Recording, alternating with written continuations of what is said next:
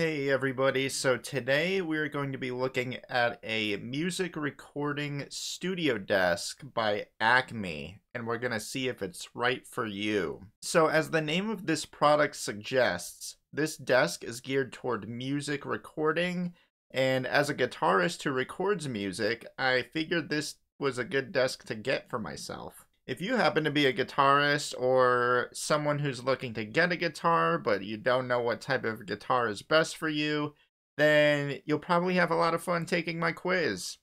It just takes a minute to complete, and once it's done, you'll know what type of guitar is best for you.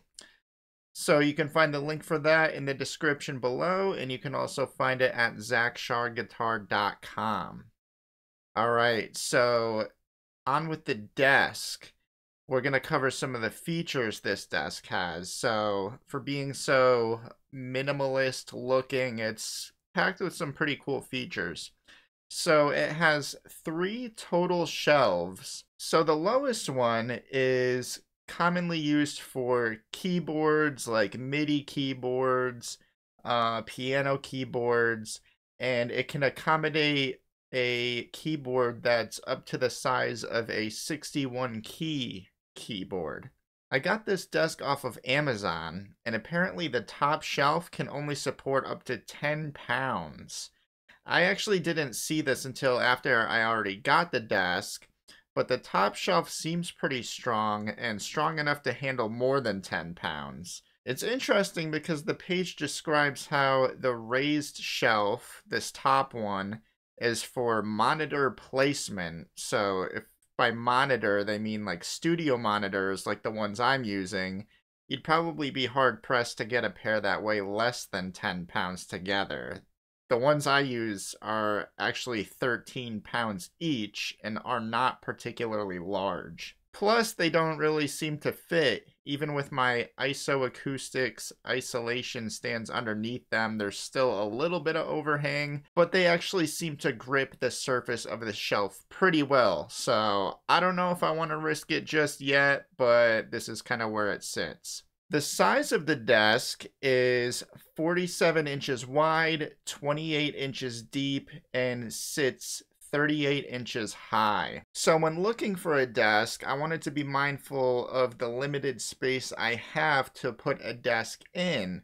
So this one actually sits very nicely inside of the space I have. So next we're going to talk about some of the attachments uh, as some additional features of this desk. I love the headset hook and the cup holder that come with it both save some space on the whole work surface of the main shelf, and the cup holder can save you some stress on potentially spilling your drink all over your expensive equipment. And, you know, we do not want that.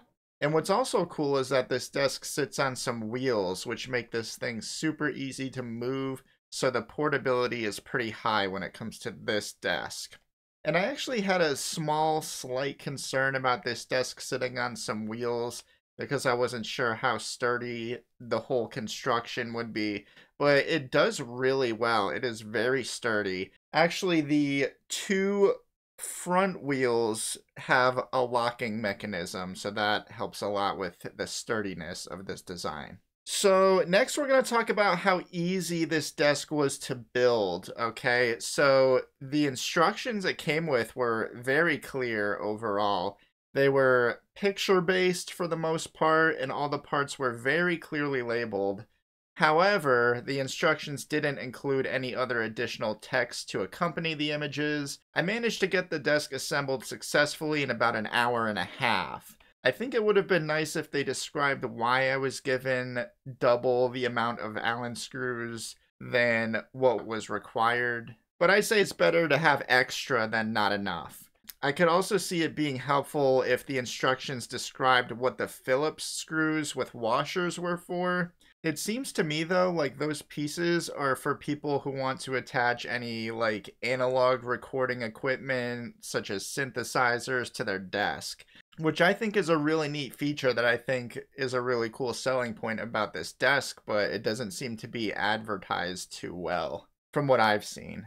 Another thing that helped with the assembly of this desk is that there weren't really many tools needed. The only things I really needed were a screwdriver and a pair of scissors, but other than that, all the tools were included with this desk. So now we're going to talk about the looks, the aesthetic of this desk. I got the white and black one, and I love the colors. They're very similar to the lifetime table I was using before I got this desk. And if you're curious about how I was using a lifetime table for a music recording station, then feel free to check out the video I made on the Minimalist Home Studio recording tour. But anyway, back to the looks of this whole thing. Um, one thing I really appreciate is the textured surface. I feel like that adds a whole extra dimension of style to this whole design and this whole setup. I like to feel like I'm in the labs in the Resident Evil movies or the Portal video games when I'm doing music stuff. And I know that's an oddly specific personal preference, but the aesthetic of this whole table really allows me to experience that. The only small issues I can see when it comes to the looks of this table are the slight color blemishes, which, you know, you could say it adds character, but it's really not much that whiteout paint can't take care of, so it's not a huge deal. And now we're going to talk about the comfort of this whole thing. It was a little bit of an adjustment at first, which is to be expected. I had to find the sweet spot when adjusting my chair because if my chair was too low, my wrist would be sore due to the awkward height of my arm when holding the mouse. And if the chair was too high, my legs would hit the bottom of that keyboard shelf and like I said, the adjustment is to be expected. And overall, I find the desk at this point, once I found that sweet spot, to be very comfortable to use. All right, so my thoughts are that this is a really great desk and well worth the value. Right now, the desk is available on Amazon for $239.99. It's probably not ideal for those who intend to write or draw on it due to the desk's textured surface. But if you're somebody who's looking for a desk to use as a computer desk, like if you're a gamer or a musician like I am, then this desk is probably ideal for you and you'd probably really enjoy it. If you happen to be a musician, like a guitarist like myself, or if you're someone who's curious about what type of guitar is best for you, then go ahead and take my free quiz. It only takes a minute and the results may surprise you. Again, the link for that is in the description and you can also find it at ZakCharGuitar.com. Thank you so much for watching. I'm Zak with Zak Char Guitar. Take care and I will see you in the next one.